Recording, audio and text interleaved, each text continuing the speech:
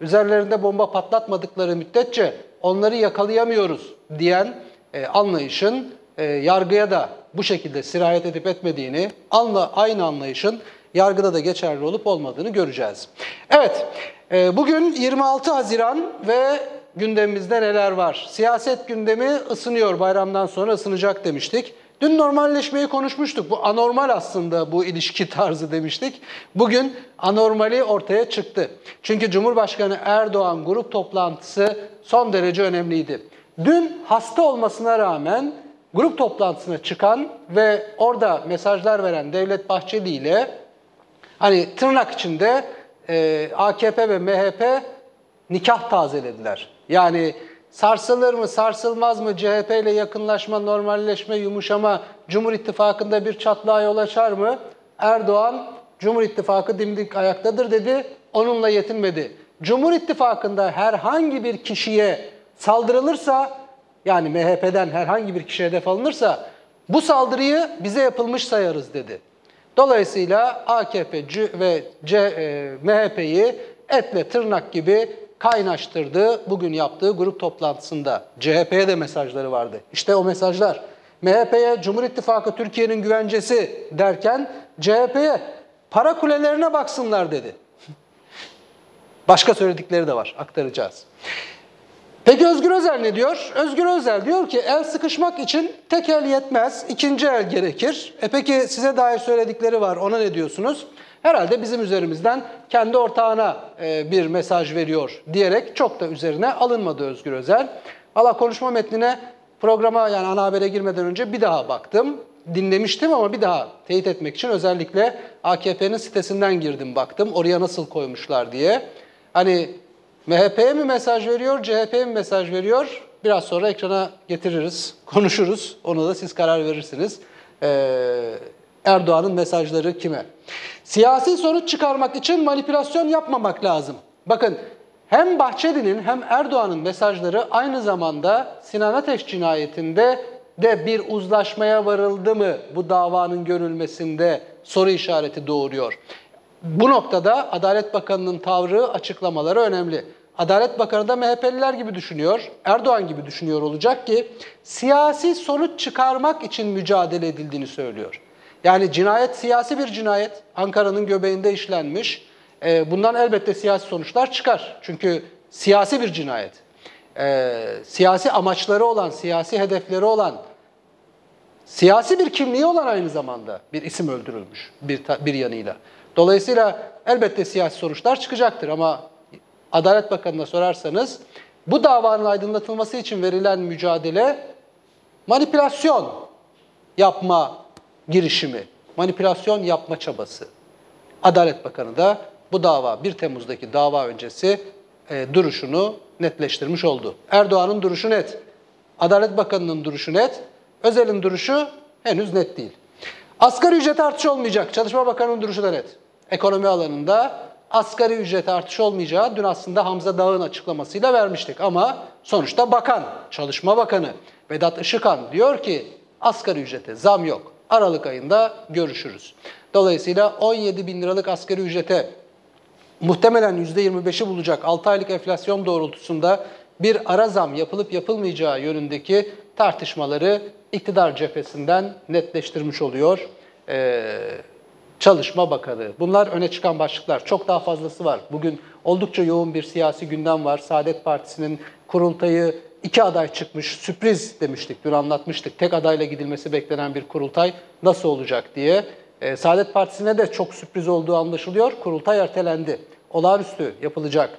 E, Temel Karamollaoğlu'nun rahatsızlığı nedeniyle olağanüstü yapılacak kurultay olağan tarihine Kasım'a çekildi. Onu söyleyelim. E, onun dışındaki sıcak gelişmeleri de aktarmak için hızlıca başlayalım. Öncelikle siyasette normalleşme tartışmaları, normalleşme, yumuşama en başından itibaren e, ben anlamadım, anlayanlara, yani anlayan varsa diye kulak vermeye çalıştım. Hala anlatabilen de görmedim. Yani e, iktidarı anlattık. Hatta günler öncesi, haftalar öncesi verdikleri mesajlarda iktidar kanadının normalleşmeden anladığının kendilerinin normalleşmesi. Yani artık hukuka saygı duyan, hukuk kurallarının dev- e, öne çıkacağı, ekonomide artık halkın, dar gelirlinin, üreticinin dikkate alınacağı, yeni ekonomi programlarının hayata geçirileceği bir normalleşmeyi bu iktidarın anlamadığını, normalleşmeden ya muhalefet bize çok fazla sert muhalefet yapıyor, sert muhalefet yapmışsın, yumuşasın, o yüzden yumuşama diyorlar. Ee, böyle oturalım ne güzel hem konuşalım, muhabbet edelim hem de biz bildiğimizi okuyalım demek olduğunu yani böyle anladığımızı söylemiştik. Nitekim Erdoğan bugün altını çizdi. Kalın harflerle çizdi. Dedi ki çabamız aslında muhalefeti normalleştirmektir. Yani normal olmayan muhalefet. Muhalefetin normalleşmesi lazım. Peki AKP, MHP cenahında normalleşmesi gereken bir şey var mı? Erdoğan dedi ki biz Cumhuriyet tarihinin gördüğü en iyi, en güzel iktidarı yaptık. Üstüne üstlük 22 yılda yaptıklarımıza ortak olmak isteyen muhalefete de izin vermeyiz. Yani muhalefet 22 yıllık AKP iktidarının yaptığı o müthiş demokrasi atılımı, müthiş ekonomi atılımına ortak olmak istiyormuş. Erdoğan da o kapıyı kapattı. Yani CHP biz 22 yıllık yükü sırtlanmayız, o sorumluluğu almayız derken Erdoğan cenahında 22 yıl, muhteşem bir 22 yıl, üstelik muhalefet istese de ortak etmeyecekleri bir 22 yıl. İşte Erdoğan ve Özel'in bugünkü açıklamaları. normalleşme çabamız aslında muhalefeti normalleştirme çabasıdır. normal bir açıklama olmamış. Bu açıklamanın da normalleşmeye ihtiyacı var. Ee, bir el sıkışmak için tekel yetmez, iki taneye gerekir. Siyaset gündeminin son günlerdeki en önemli gündem maddesi normalleşme. Sıkılı yumrukları açacak olan muhalefettir. Hançerleri kınına koyacak olan muhalefettir. Dilini, söylemini, siyaset tarzını düzeltecek olan muhalefettir. Biz milletten muhalefet partisi olarak yetki ve sorumluluk aldık. Önce AKP'li Cumhurbaşkanı Erdoğan partisinin grup toplantısında konuştu. Yani yumuşaması gereken, normalleşmesi gereken muhalefettir. Muhalefet muhalefet olmaktan çıktıktan sonra demokrasi demokrasi olmaktan çıkar. Daha sonra CHP Genel Başkanı Özgür Özel Erdoğan'ın açıklamalarına yanıt verdi. Bu memleketin normalleşmeden anladığı iktidarıyla muhalefetiyle birbiriyle diyalog kurabilen, sorunları konuşabilen, tartışabilen, birbirini ikna etmese de birbirine düşman gözüyle bakmayan ama mücadeleyi de eksik bırakmayan bir anlayışı takdir ediyor millet. Erdoğan son günlerde Cumhur İttifakı'nda yaşanan gerilime de değindi. Olumsuz havayı dağıtmaya yönelik açıklamalar yaptı. Ülkemizi karşılaştığı risklerden koruyan en güçlü kalkan Cumhur İttifakı'dır.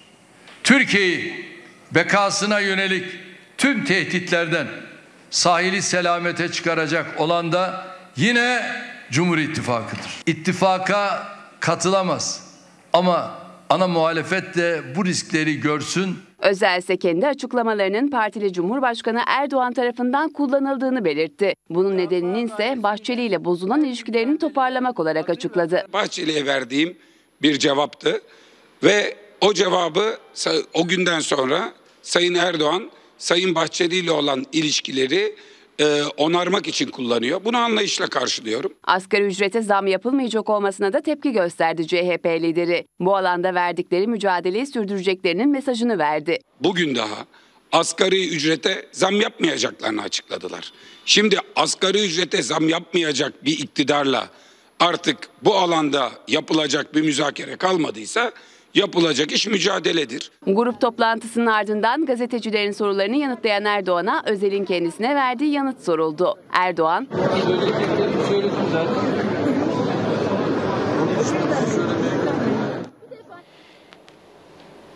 Evet, CHP'ye verilen mesajlar, o mesajlara CHP Genel Başkanı Özgür Özel'in yanıtlarını izledik.